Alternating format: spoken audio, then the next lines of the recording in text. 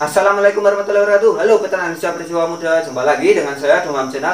Pada kesempatan kali ini saya akan membahas Macam-macam hama atau predator Pengganggu lalat biasa dalam budidayanya. Maaf sebelumnya saya menggunakan baju yang sama Karena ini hari yang sama Ini waktu luang saya Ini waktu free saya. Saya gunakan untuk menggunakan video Atau membuat video seperti ini.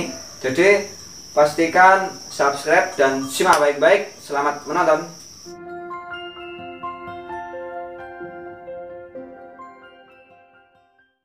dalam budidaya lalat biasa banyak hama yang bisa kita temui dari segi tempat lalat bertelur sampai tempat pembesaran banyak hama. Yang pertama kita bisa pastikan semut. Hama semut adalah hama di waktu kecil biasanya atau waktu telur dia akan memakan telur. Dia waktu kecil juga makan maggot atau larva itu cepat berkurangnya. Kalau sudah besar makan satu atau dua itu sudah cukup lah untuk hama semut mudah diatasi kita menggunakan oli di bagian bawahnya atau minyak yang tidak terpakai. Yang penting semut tidak bisa naik. Untuk hama semut sendiri seperti itu penanganannya. Kemudian hama cicak. Cicak terutama jika kalian di dekatnya itu ada dinding atau biasanya atau paranet itu hama cicak usahakan jangan terlalu dekat menggunakan dinding untuk penanganan cicak oh ya untuk masalah semut tadi jika sudah terlanjur di dalam maggot atau dia sudah me mulai makan maggot besar atau larvanya kalian bisa kali bisa menggunakan ambil kemudian dijemur atau kalian bisa taruh mangkok berisi air gula nanti akan semut akan masuk di dalam gula tersebut. Nah seperti itu untuk penanganannya untuk cicak jaga jaga, jaga setiap dinding jangan terlalu dekat. Atau jika kalian lebih ingin aman lagi kalian bisa modif setiap box box pembesaran kalian dikasih jaring. Tapi untuk penggunaan seperti ini susah untuk terpal. Kalau jika penggunaan atau pembuatan kalian itu tidak terlalu rapi seperti saya ini hanya menggunakan bekas susah jika kita melapisi jaring. Lebih ribet lebih kalau saya nggak suka ribet lebih cepat aja walaupun cicak masuk aja nggak apa-apa. Kalau ketemu ya kita masukin kita buat makan magotnya. Nah, saya hanya mengantisipasi jarak berdinding jangan terlalu dekat. Atau kalian bisa jika dindingnya itu paranet itu di bagian dekat pembesarannya dijauhkan. Nah, kemudian hama yang lain ada kadal, kodok.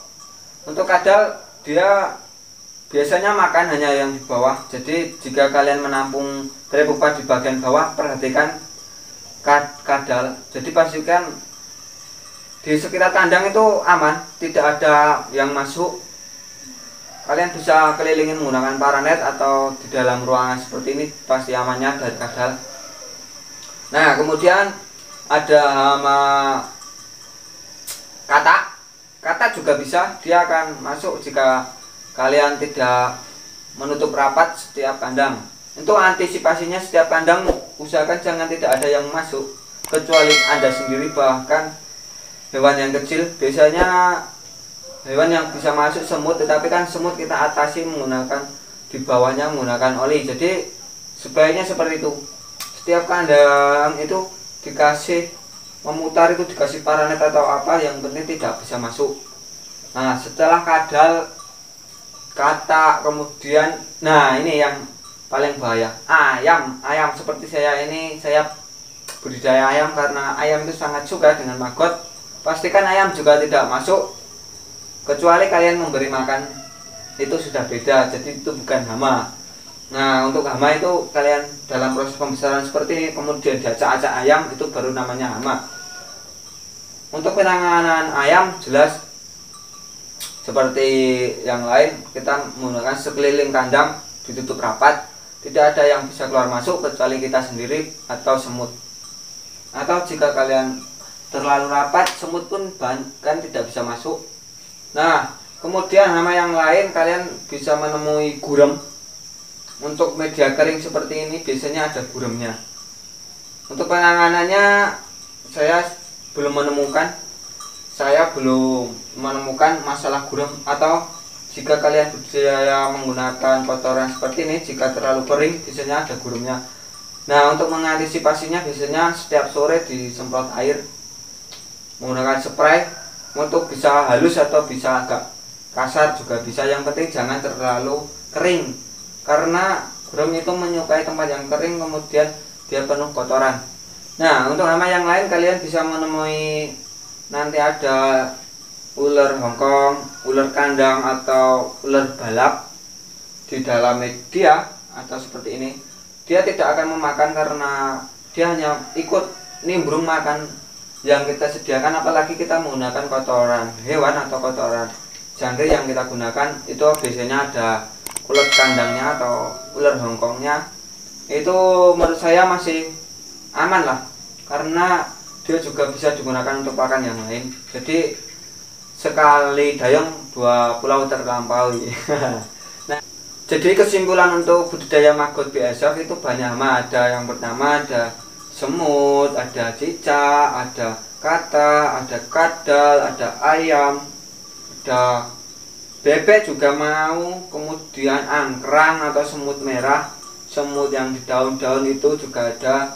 Itu dari segi pembesaran maggot BSF. Kemudian di dalam segi peneluran atau indukan lalat BSF kalian bisa menemukan semut kemudian kalian bisa menemukan angkrang kalian bisa menemukan cicak kalian bisa menemukan ayam hampir sama di dalam budidaya maggot biasa pembesaran atau peneluran pastikan di bawahnya itu juga dikasih oli kemudian pastikan jaringnya terlalu rapat tidak ada hewan yang masuk dan keluar. Nah untuk hama yang lain dalam budidaya maggot BSF terutama di bagian telur itu saya yang menjengkelkan itu semut. Jika kalian tidak memberikan bagian bawah olinya karena dia akan ikut masuk di dalam semutnya atau atau dia akan makan telurnya itu semut agak menjengkelkan jika kalian tidak menggunakan oli. Jadi nanti akan semua dioli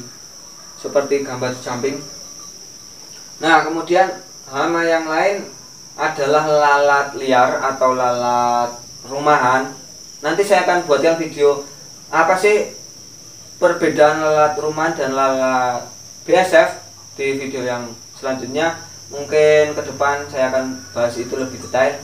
Agar kalian tidak salah budidaya karena lalat BSF ini tidak membawa penyakit dia tidak makan dia tidak minum.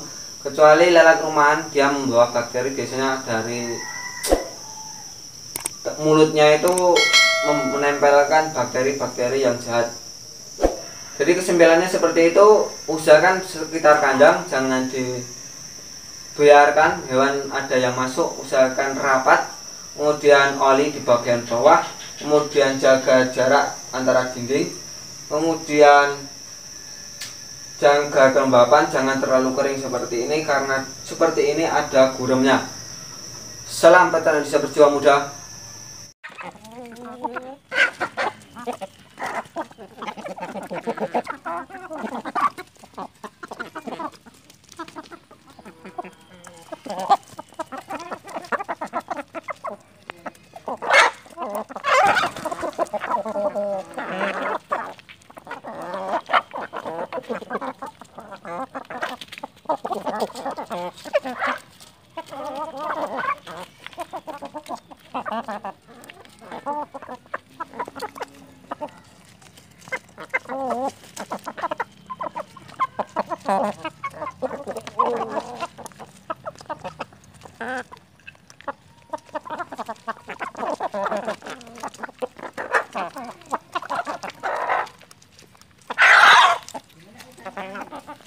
people.